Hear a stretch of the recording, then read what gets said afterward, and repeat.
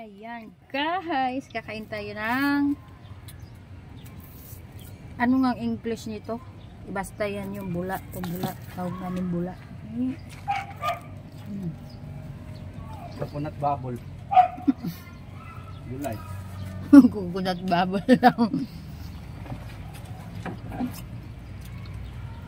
Lamulap. Na. Hindi na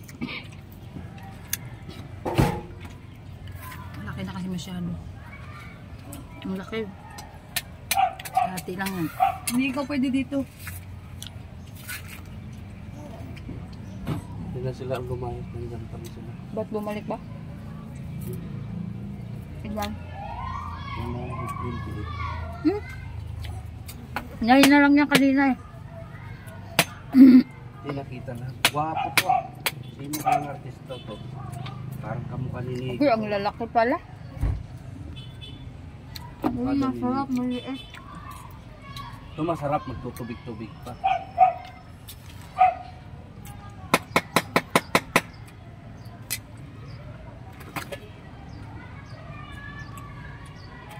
Highlights.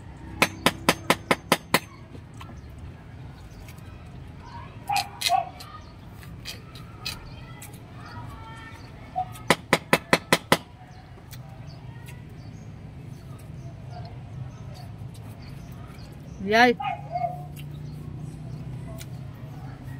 Yaya! Kaya tayo, marumi yung kuwan.